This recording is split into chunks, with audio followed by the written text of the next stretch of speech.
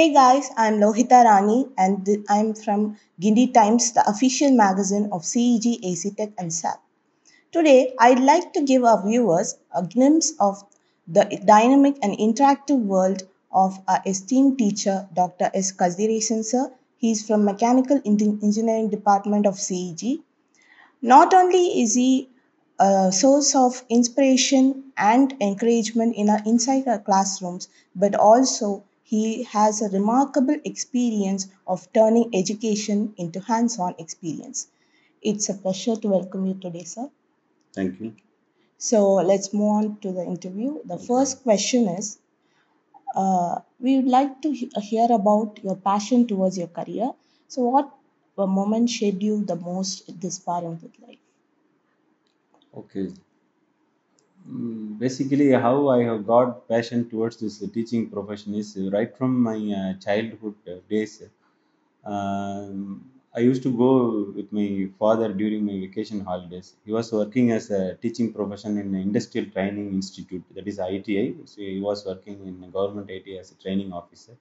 He was a mechanical uh, teacher over there. So uh, when I used to, to visit uh, that institute, I used to visit all the machineries, the working conditions, and then the students drawing the engineering uh, drawings and shapes, and then fabrication process. All those things I used to see. This is what I have witnessed right from the, my childhood. So where I have got uh, uh, more uh, passionate towards this mechanical engineering discipline. When I opted for engineering disciplines, many options were there. Only this mechanical engineering comes to mind. Uh, there I have opted for this mechanical engineering. I did my UG, PG, PhD, all those things in mechanical engineering. The most important moment uh, in my life towards this career is uh, uh, immediately after my uh, UG uh, final year examination. Before uh, the result comes, uh, I was working as a uh, marketing personnel in a website designing company. By that time, I had a discussion with my professor. He only suggested me to do this uh, teaching profession since I have the capability. He has identified my teaching capability somewhere else in my presentations. He suggested me to come to this teaching profession. That is the very important moment for me. That particular moment made me to uh, fit in this, this uh, teaching profession in my career. That's so wonderful, sir. So, moving on to our next question. Each campus has its own charm and uh, character. So, uh, having worked on this campus, what makes you feel that this campus is more unique than other education environments? Yeah, this CEG campus, uh, before this, I was working in several uh, private institutions, uh, but this is a top level technical university in uh, Tamil Nadu. Especially this uh, red building is very famous, uh, all of us. This is this university was started in the year 1978 as Anna University. Before that, this College of Engineering Guindy was uh, started in the year 1794. I think more than 200 years uh, tradition this uh, university has. So I feel very proud to be a part of this uh, CEG. And then I did my PG course also here. I would see when I take class in uh, in a, take a class when I see uh, 60 students, I used to see 60 focused minds in and around uh, all research facilities are available. So everything, all activities are uh, career oriented or uh, knowledge gaining oriented. It is very.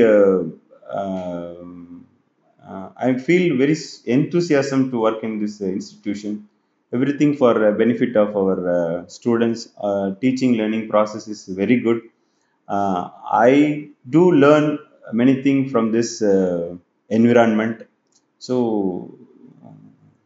it is a lifelong uh, uh, learning thought comes when i work in this institution That's thank you nice to hear, sir. And uh, moving on to our last question.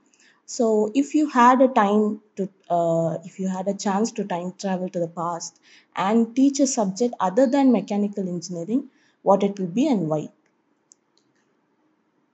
other than mechanical engineering i prefer biomedical and uh, biotechnology since uh, the human body so a perfect uh, wealth of a human being I used to say it as a healthy body. That is the a real wealth of the every every human being. So human body is also uh, consisting of several mechanisms are working together, right from uh, nervous system, muscular system, skeletal system, circulatory systems, and then uh, respiratory systems, uh, endocrines, everything. All systems are working together, by which only each and every human being we are all living. So when I used to learn about those working systems, teaching them to all others is very much enthusiastic. And then uh, diagnosing the problems in those working systems that is also very much very interesting.